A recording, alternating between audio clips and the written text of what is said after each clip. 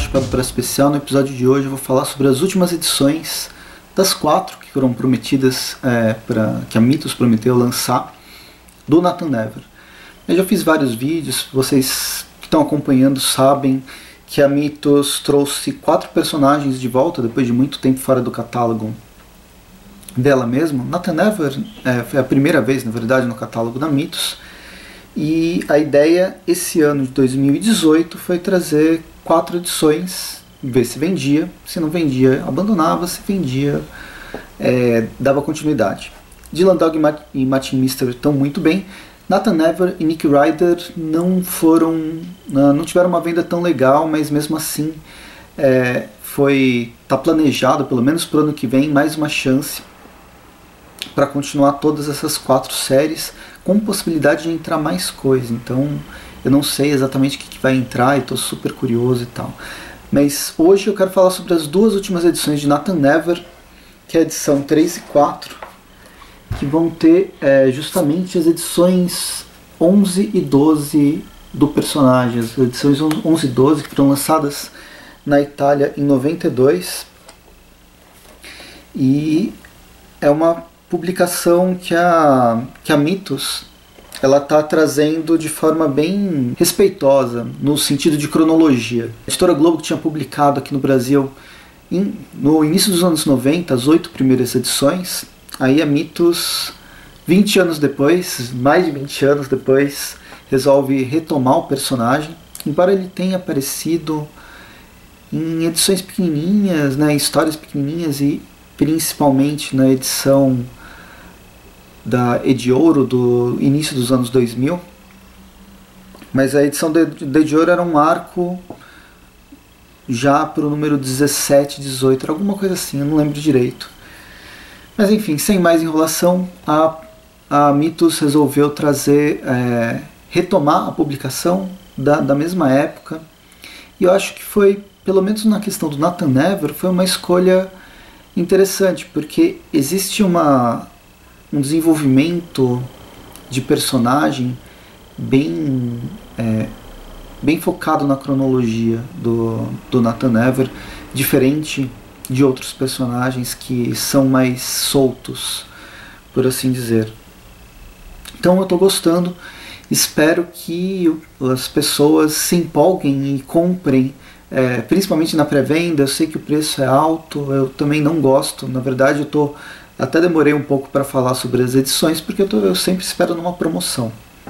Mas ainda assim, é, espero que venda bastante, porque eu queria que o personagem continuasse a ser lançado aqui no Brasil. As edições 11 e 12, né, italianas, chamada Fuzileiro do Espaço e A Última Batalha, elas compreendem uma história só. Aqui a gente tem os roteiros do Antônio, Antônio Serra e a arte do Roberto Angelis. E na história a gente vai ver uma investigação, né? o Nathan Never ele vai entrar como um agente infiltrado de uma organização de treinamento militar que faz treinamento para é, para soldados que vão trabalhar na, na, parte externa da Terra, né, em gravidade zero. Como a maioria das revistas da Bonelli e especialmente Nathan Never, a gente tem várias referências ao cinema, à literatura, Nathan Never faz uma referência direta à ficção científica.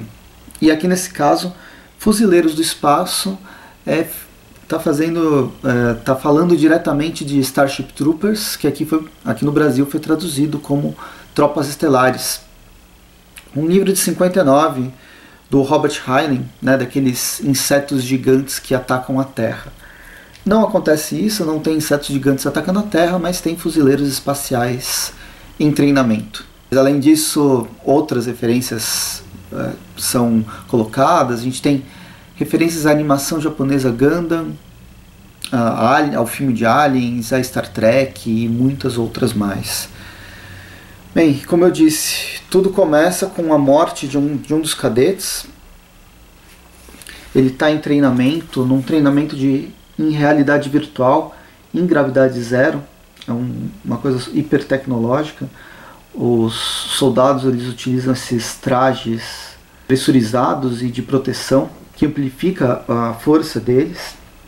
E nas primeiras páginas a gente vê que o soldado ele fica ele tem meio que surta e pratica basicamente é, um suicídio mesmo que talvez tenha sido sem querer esse estranho suicídio vai provocar uma investigação a, a pedido da mãe do, do soldado né, que morreu e aí o Nathan Never vai entrar nessa academia militar como um agente filtrado para tentar descobrir o que aconteceu.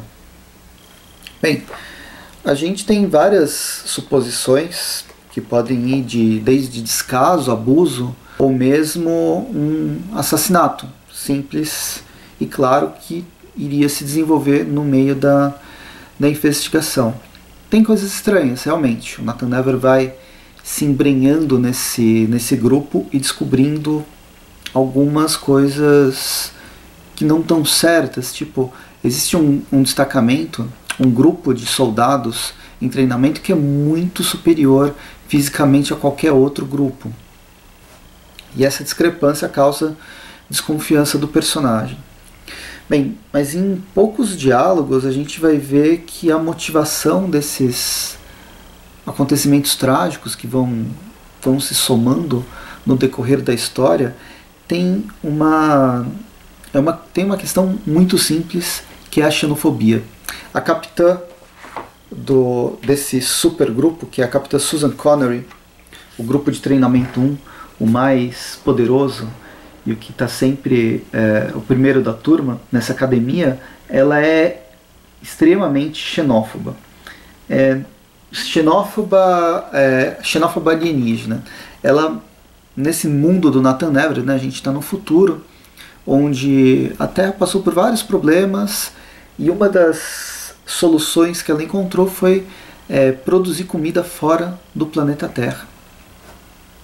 Gerações é, de colonos estão vivendo em, fora do planeta, trazendo e fazendo, produzindo essa alimentação, e isso gera na capitã Susan Connery uma certa xenofobia, no sentido que, como outras gerações já estão nascendo fora do planeta Terra, elas provavelmente vão começar a querer independência e, e com seu poder militar, o, todo o poderio militar dessa, dessa época está concentrado no espaço.